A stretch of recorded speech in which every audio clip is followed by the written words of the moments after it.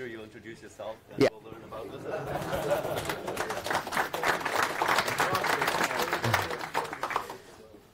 Yeah, it's relatively easy. So my name is Michał Bielicki, and I'm like responsible for the community work in this LizardFS. Yeah. More volume. Does this work at all? Oh, this is only Ah, okay. recording. Cool. I was wondering at the speaker before already that no audio. So my name is Michał Bielicki, and I'm basically managing the community activities of LizardFS. Right? Um, we are a, a Polish project, and I'm today not introducing Switch on your mic. it. I think it's on. Yeah, but the uh, sound. I don't know. Looks good. Yeah. You have to speak really loudly. really, loudly. So.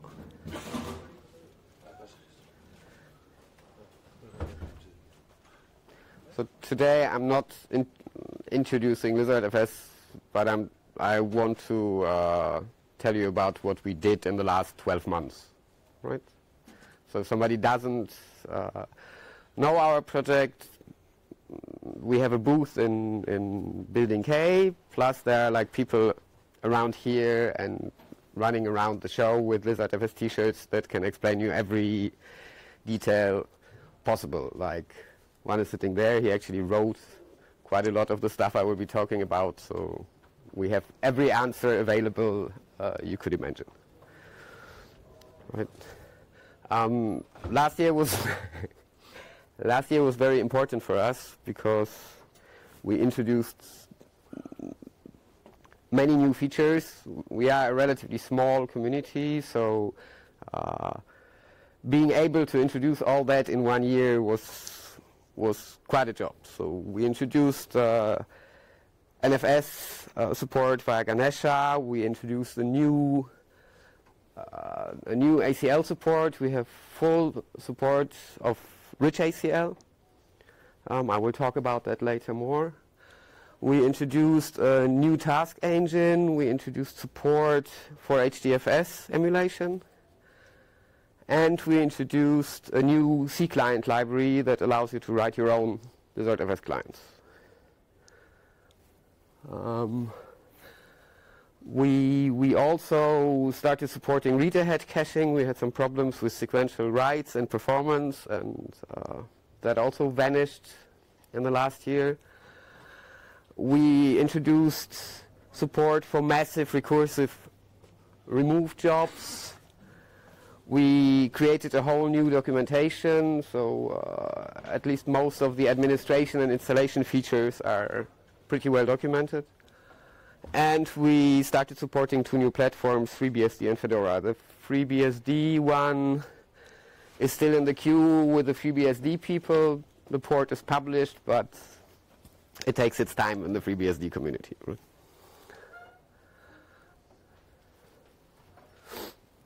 Um, we also did uh, some changes.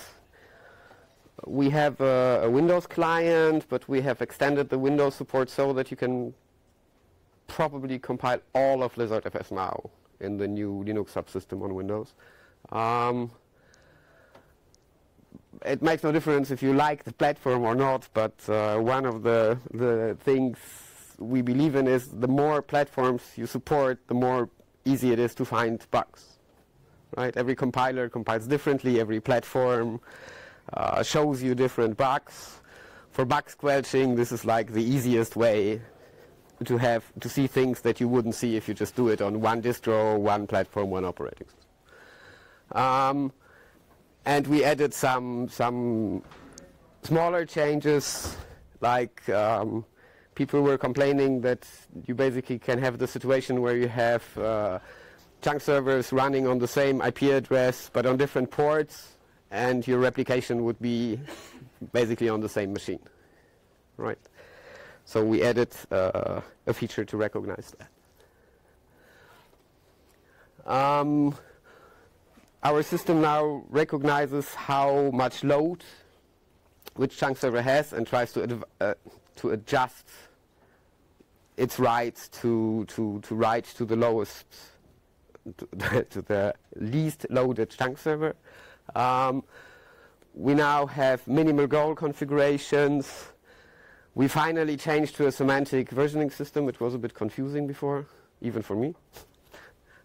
And we we we did a lot of small uh, fixes that still uh, to clean out still uh, coding mistakes that come from the project where we forked off four years ago. We have a lot. We have a lot of places where where small where where small ports were not understandable in the code, and we seem to have reached the point where 90% of that is gone. Hmm? Um, we now have caching for faster directory lookups. There's, there are new whole path lookup functions. Um, if you want details on any of the of the more developer-like features, our main developer is sitting in this room and can answer any of any question you may have. Um, we scratched quite some bugs. We had uh, we had a lot of uh, places where where things were still set up for low for low speed networks and for low speed disks uh, and not prepared for the new more performance hardware environments right we fixed most of that there is uh, we had some problems with global locking especially people that were using the windows client had problems with that we fixed that um, we now support ARM officially. I mean, before it was very theoretically. Now we support it. There are still there are still probably not all problems with ARM fixed because we don't have enough hardware for that, and are waiting for some some promised hardware from people that want to use the ARM platform. But it seems to work because I know at least two customers that run uh, that run their Lizard clusters on ARM. Um, we we also fixed some some problems that we had with the mathematical library that we use, libjudy, that seems to be unsupported everywhere. So we had to implement some ways around the bugs. I think the Ubuntu one is totally borked. Um, I, and I'm not sure if you found all the problems with it, but it seems that most of them are gone. Um, finding defective files was a bit complicated still last year. That's fixed as well. And request sizes in read cache have been fixed as well. They, they were uh, often reported in zero size, which was just wrong. Come on. Okay, so last year we, we introduced uh, ACL support. Um, the, A support, the, AC, the ACL support, the, the, way the ACL support is presented depends on which platform your client is using, right? Because your client has to, to uh, be able to present it. The, the backend system uses rich ACL, which is a superset of the NFS ACL, uh, the, the NFS ACLs and we try to to translate to in every client to the one that that client is supporting. Um, the only platform where we are not able, the only platform of the supported platforms where we are not able to do any translation or any ACL support is FreeBSD because the Fuse library that we have to use there doesn't support ACLs. So for now, no ACLs for FreeBSD clients right? Um, the documentation is being updated. We we have I already have all the tables ready prepared so you can see which platform gets translated how. And uh, that should show up in the next three, four weeks in the documentation.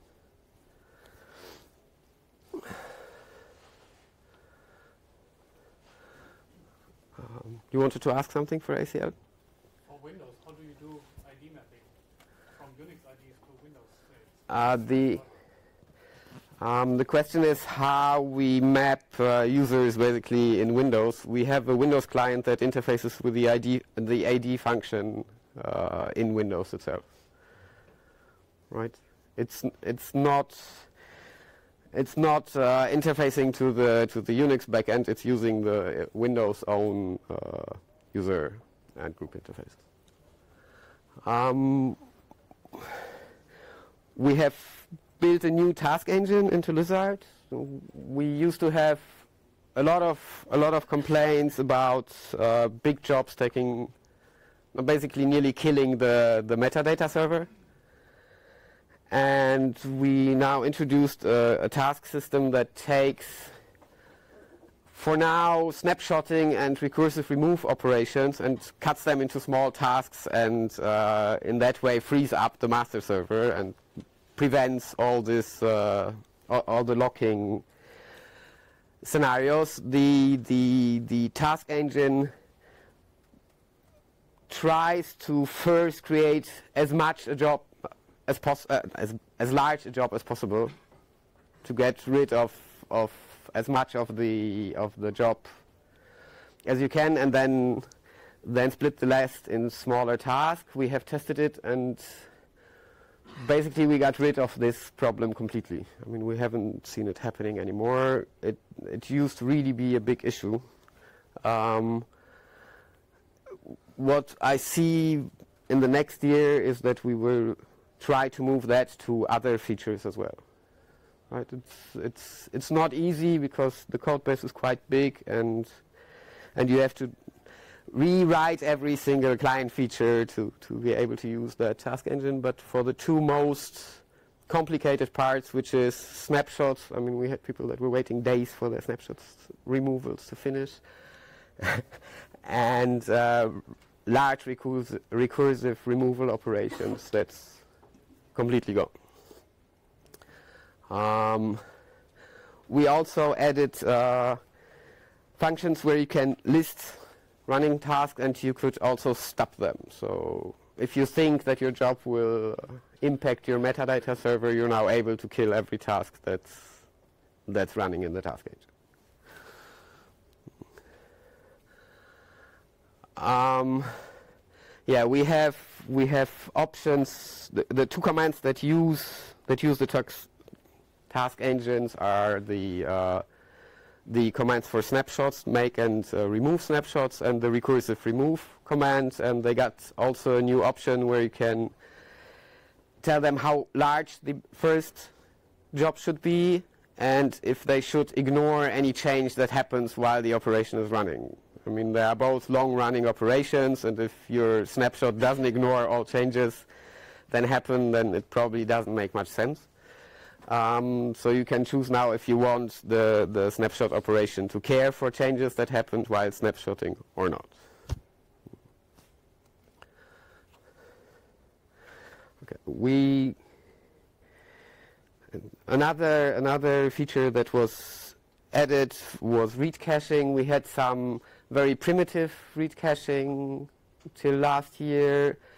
Uh, and we noticed that it's not good enough to handle large sequential writes. Um, the reason why we never saw that before was that we didn't have so many customers using Lizard for massively large files.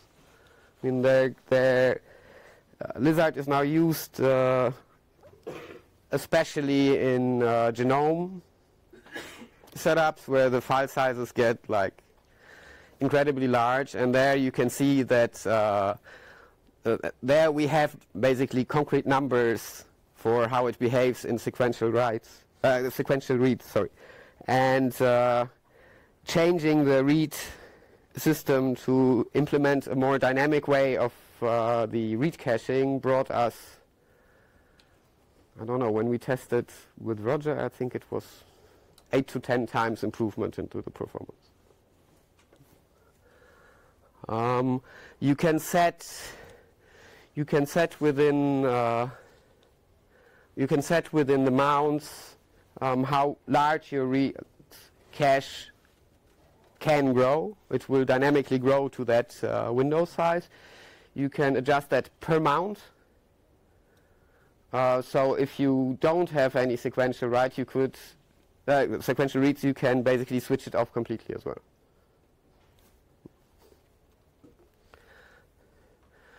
Okay, we started, I think in January last year, we started a new documentation project. Um, there's all of the installation, all of the self-compiling, and all administration commands are documented. Even some of the more complicated features are documented like uh, geo distribution, like uh, setting up which chunk servers should be preferred for which clients. You can find all that, what is missing till now, and where we would be happy for any input if anybody wants to help. Um, are the pieces about daily work with LizardFS.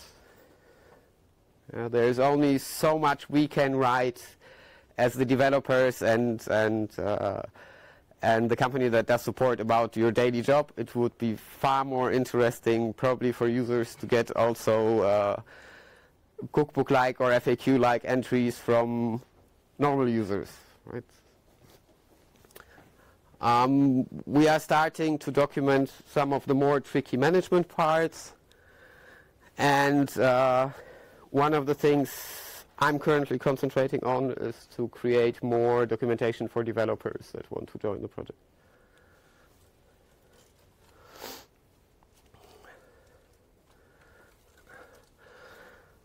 So last year, um, after a long time of testing, I think two years now, um, we implemented uh, Ganesha NFS as a yeah, let's call it a translator from Lizard to NFS. It's implemented on directly on the servers.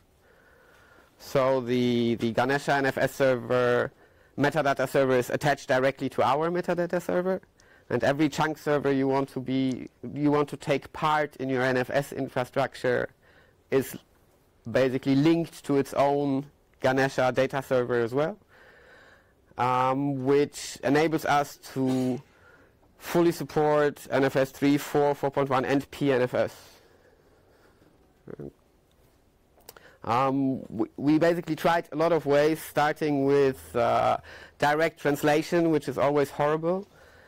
Um, and for two years, we, we, we tried to even implement our own NFS and use different platform NFS systems, and basically all of them yeah, more or less failed. You couldn't do HA, you couldn't support any parallelization, and uh, with, with Ganesha, we basically managed to, to have a fully integrated setup that translates directly without all the, the mount operations or fuse translations or whatever we needed before when we had to translate mounts.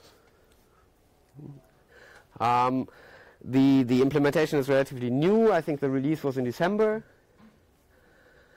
And as with the documentation, we are quite urgently looking for feedback and for testers to, to see how it behaves in different, in different scenarios. One limit with that, with that way of implementing NFS is that we only support it on Linux chunk servers. Right? Ganesha use, uh, seems to use a lot of Linux-specific functions, so for people that use that use BSD or Mac or Solaris backends with, with LizardFS, we can support uh, Ganesha there because there is no Ganesha on those platforms. Um, uh, the, the Ganesha project was also the, the main force behind finishing our new client library, which allows you to talk directly to your LizardFS backend. And I will, I will talk about that later a bit more, but basically you, you, now have a client library with which you can write in, yeah, probably in an hour a client that replaces the mount command for LizardFS. So you could do all your file systems transactions for any application you want. Yeah, no, no requirements for fuse, no requirements for any for any mounts. It's it's a direct client library to the LizardFS protocol.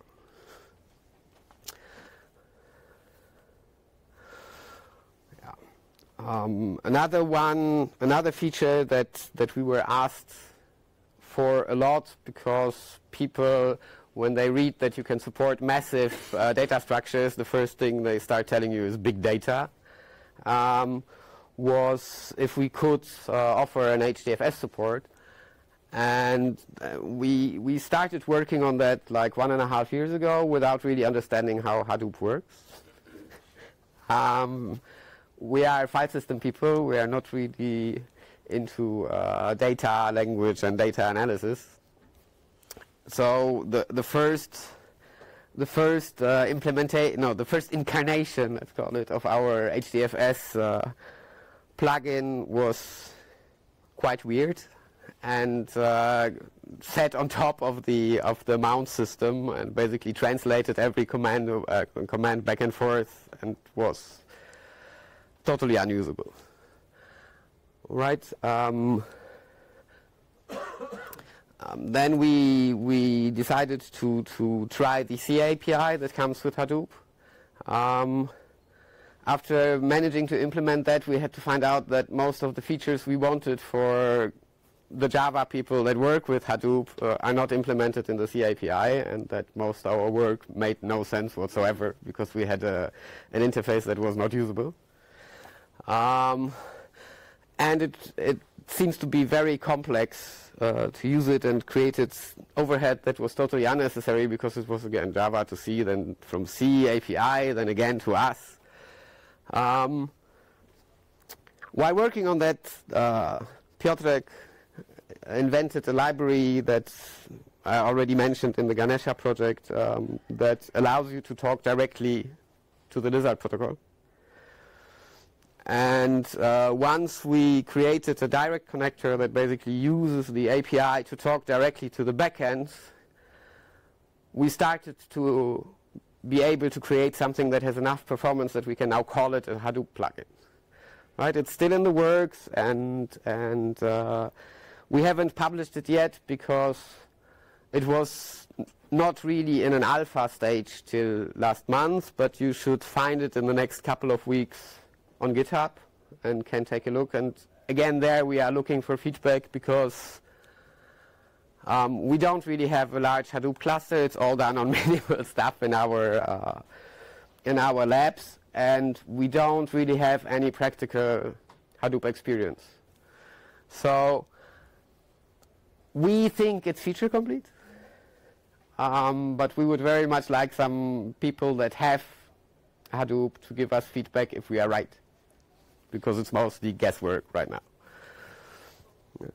Um, what was interesting was that there was a there were a lot of problems with Hadoop itself because uh, different things were differently implemented in different parts of Hadoop. So, for example, we had uh, an interesting uh, experience that with the message file not found exception is not an insta instance of file not found exception because it's differently implemented in MapReduce and differently in Hadoop. And uh, spent like weeks on finding where the bug is until we found out that it has nothing to do with us. It's on the layer up in Hadoop itself. So this was quite a, uh, an interesting experience of trying to to to link with a different project where you have actually not much uh, idea of. So currently we have, a, uh, according to the HDFS tests, we have a feature complete HDFS on top of LizardFS, speaking directly to the backends. Um, there is a small installation documentation already done. What we are adding now is how to use it. Um, it should show up in the next couple of weeks in GitHub. We are looking for help with with uh, quality checks for it because, like I said, we have a very very small Hadoop cluster, and there's only so much we can try there because we have no practical experience. Um, so any feedback from the real world would be would be very appreciated. So why we were working on Ganesha and NFS?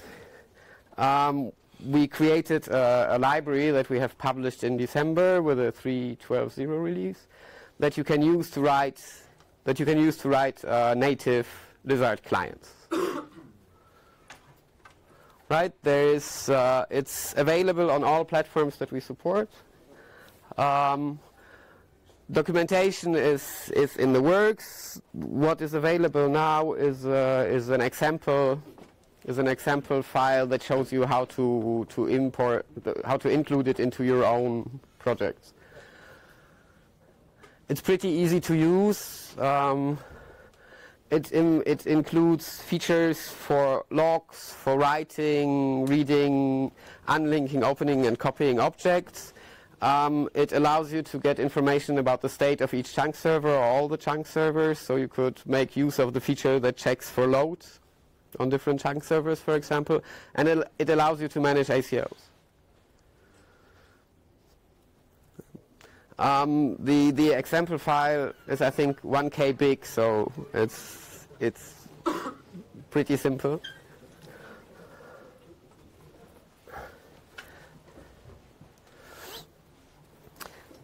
And uh, if you have any well, if you have any questions with that, the author is sitting here. So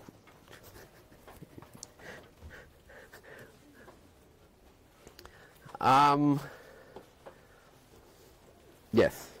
So, so much about what we did uh, in the last 12 months. Um, I want to, to give a little insight of what we have planned for the next year or probably even longer. Um, we are uh, we are releasing today the, the source code for our HA engine for the uh, metadata servers. Um, that used to be a commercial add-on from Sky Technologies. Um, we are releasing the Hadoop plugin, as I said, to the public um, because we think it's it's so that it's showable. Um, and we are starting to work on a, on on something we call Agama, which is the next generation of Lizard, um, which has a lot of internal changes. I have some more to say about that in about two minutes.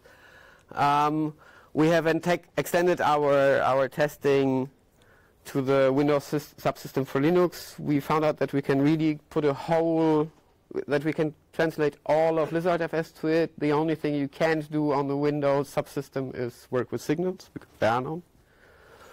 Um, it's pretty interesting as the next testing platform. So um, the, the, the new Lizard FS um, has a whole different internal architecture that's mostly focused on performance. We think everything in the normal features is stable, and we are now moving to, to get Lizard to a different performance level. Um, we want to start with a completely new client. Um, and then move the changes that we put into the client also into the metadata and the chunk servers.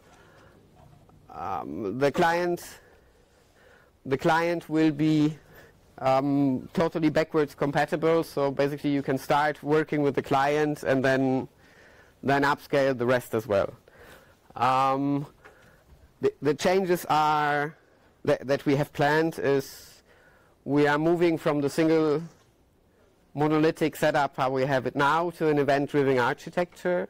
Um, we are switching to async I/O, um, utilizing the the think async library because we think it's the easiest way to stay current also with the C++ standards. Um, we are trying to get rid of get rid of uh, a lot of pieces that use in-kernel features, especially um, looking at the the bugs that are that that show up all the time in the in the kernel space. We would like to get out of there as much as possible. Um, so all our network features are, for example, now 100% in user space. Um, we are adding a new tracing subsystem to the to the to all the modules because for now you just get you get massive log output from the chunk servers, from the metadata servers, from the loggers, from the clients, and there's it's relatively hard to correlate which which piece is uh, related to which function on which uh, on which component. So now there are 64-bit uh, identifiers on every transaction that is being logged, so you can uh, see and trace in your distributed system where your things go and why and when. Um, there's a new there's a new monitoring feature being introduced that will allow us to automatically adjust timeouts, to automatically adjust settings, because we had a lot of situations where customers don't use the easy set like we tell them, but go into relatively complicated uh, parts and just fiddle around and then come back and ask for support with a fiddled setup. Yes? What's the source of truth for the transaction identifiers? The source. Yeah. What's the source for the transaction identifiers? Those items? Um, I don't know. so um, I have our uh, the the developer who wrote that here. We can answer the question afterwards. I get him here to answer your question.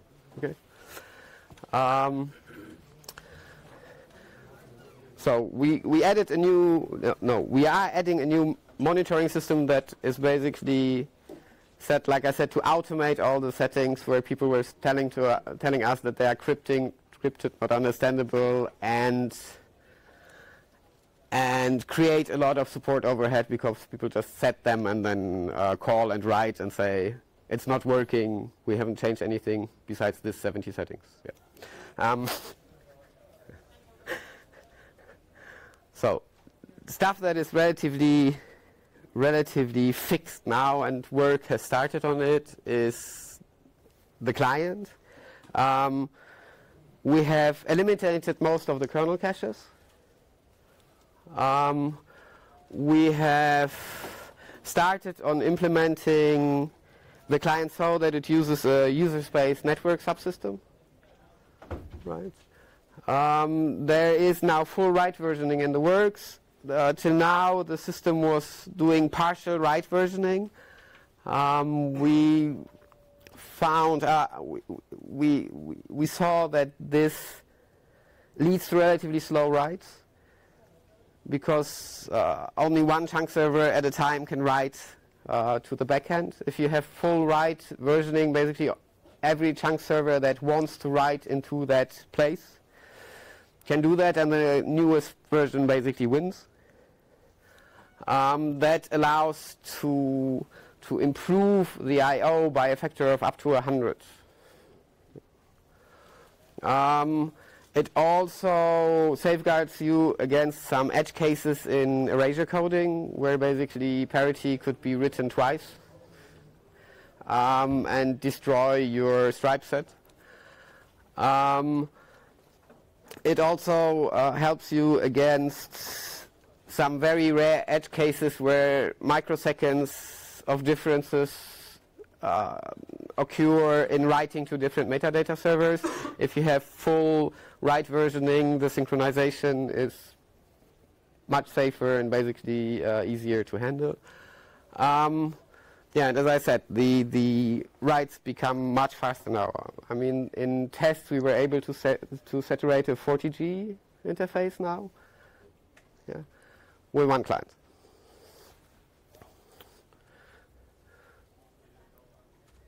So the the things for the chunk servers and the metadata servers are basically planned. I mean, currently we are working on the client, and the idea is to move all that that we find in the client to the to the backend servers as well. And the plans for the chunk servers are relatively easy. I mean, we will take the same AIO work for for event-driven architecture and asynchronous uh, I/O. Take the user space network functions and move them to the chunk servers as well. And there's a lot of work planned to get rid of old complicated uh, structures and simplify the whole thing. Um, reason is one of the main drivers of the project is simplicity. I don't know how many of you have used LizardFS, but uh, but normally a setup takes I don't know, I can set up a very basic LizardFS in about 20 minutes. Right, complete with prepared for simple erasure coding even. So we want to make that even simpler and automate as much as possible and get rid of uh, a lot of stuff that we still find too complicated. Um, same is planned for the new metadata server. The metadata server additionally will have this uh, this monitoring feature I I said something about before that will allow you to to move a lot of the more complex settings to be automated. Um, so timeouts, backend drive handling, interactions with the backend file system, uh, read-ahead cache settings, and so on will be automatically will will be possible to be set automatically by the metadata server on the chunk servers and even on the client. Um, the the the other feature we want to introduce that was asked a lot is a distributed network of metadata servers. Um, we are currently experimenting with uh, different key value stores to be able to, to create a network of active metadata servers. Um, but that's all more at the planning stage than, than, uh, than anything else because concentration currently is on the clients. So also the, the, the right versioning that we are currently implementing in the client will take its way to the metadata servers as well. So we are we are today um, open sourcing the the HA backend that we were that we have deliver uh, developed for LizardFS. It's called uRaft. It's we are using it since four years successfully at all our commercial customers. It's based on the Raft algorithm. It it is a, a quorum based backend that uh, switches IP. Um, it requires at least two nodes plus a quorum node or three nodes. Um, the settings are really, really easy. I will show an example. Um, the switchover times that we have are in the sub-second range. And you can use it, now you can use it probably for whatever you want, but our scripts are that we will publish are for our metadata servers and for the Ganesha meta servers as well. Um, it uses a floating IP model. The, the, it has a very fast election process. You can see the, the theory behind it on the raft algorithm uh, definition page, which basically has a very nice graph about how the election process works. Um, the, the resources it uses are absolutely minimal. Very often we put the quorum node the, on the same box as the chunk server and you don't even notice that there is a change in, in resources on the box. So this is an example of a uRaft configuration. Um, you start with describing which node has which address. Um, you add the floating IP and the floating netmask and the interface that you want your IPs being switched on. And the only difference between your nodes is in the uRaft ID. Right? The configuration is the same on each node. You just give it, give each out a different ID, and that's your whole setup. So it's really, really simple. Yeah. And my time is up. sorry. Um, yeah, time is unfortunately over. Um, if you have more questions to Lizard FS, uh, visit the booth in Building K. Um, yes, thank you. Thank you.